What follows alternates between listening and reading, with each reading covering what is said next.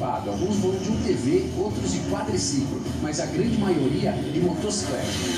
Nós temos 25 motos e 4 quadriciclos e 6 UTVs hoje. A adrenalina acho que é a mesma, né?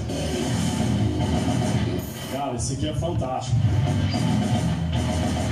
A primeira meia hora que é difícil, tudo acontece. E é isso aí, essa magia, esse paraíso aqui.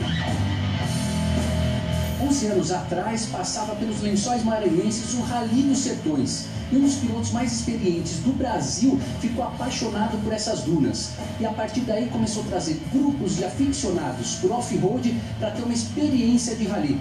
São três dias e mais de 300 quilômetros pilotando por esse lugar maravilhoso.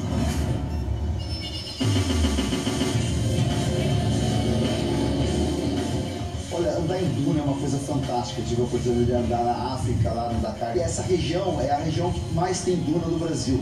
A gente brinca que os lençóis maranhenses é, é o sonho de consumo de qualquer marroquino, qualquer pessoa do, do Saara aí, porque tem águas lá, água doce. Isso acontece porque no primeiro semestre chove bastante. Já depois, Não chove um dia no segundo semestre. É esse céu azul todo dia. esse lugar é chamado de Pequenos Lençóis. É só um trecho dessa enorme região. A areia é inconstante, todos andam em fila. Para andar nesse areião fofo, com essas subidas das dunas, não é qualquer moto, tem que ser uma moto muito forte. Eu estou pilotando uma 450, mais 50 cavalos, e ela me permite já sair em segunda marcha. Quanto antes eu ganhar velocidade, melhor é para pilotar. Trechos na beira da praia, a velocidade é maior. Passa dos 100 km por hora. No meio dessa adrenalina, banho de areia do colega é a coisa mais comum.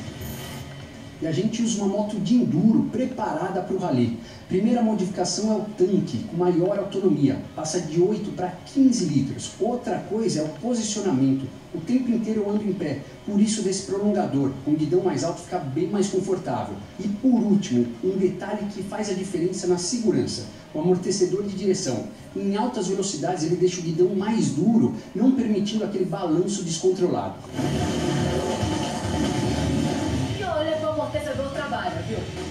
O óleo circula nessa pequena galeria e conforme vai de um lado para o outro, suaviza o movimento do guidão. Em altas velocidades, eles estreitam ainda mais a passagem do óleo e os solavancos, que seriam bruscos, ficam mais fáceis de controlar. 25 km pela quietinha. Cara, parte mais difícil. Pulando, pulando, um monte de costelas, mas não é uma série, são quilômetros.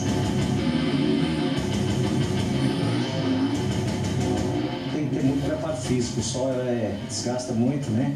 Se hidratar bastante. Se hidratando, o que, que é isso aí? Gelzinho. Precisa? Precisa. Tem que dar um gelzinho depois de um tanto de lomba desse, de costela desse aí.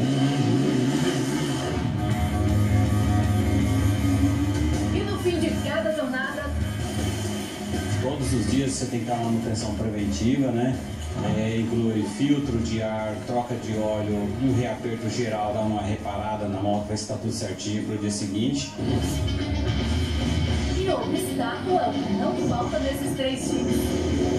Esse é um problema, porque a gente está numa trilha fechada. Se perder um pouquinho, você vai bater na árvore. Então exige muito preparo físico, uma técnica apurada e o psicológico para administrar tudo isso.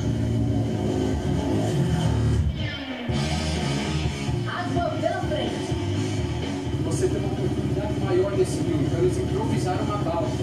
E o que vale é ter equilíbrio. Porque você sobe, se ela virar para trás, tem que jogar o corpo para frente. Não deixa de ser uma técnica também de pilotagem. Olha lá. Voltando para as dunas, a técnica se inverte. corpo bem para trás, você em pé, com o corpo para trás, naturalmente o seu peso vai puxar o guidão, tirando esse peso da roda dianteira. Quanto menor o peso da roda dianteira, mais rápido ela vai. E você consegue se divertir assim, ó, até no paredão. Duna é demais para andar. Fazer aqueles surfs nas dunas é prazeroso demais. E E uma dica importante, nunca frear o freio dianteiro. Qualquer encostadinha aqui você pode virar ao contrário na hora. Opa, olha aí o Cauê vivendo um sistema BR.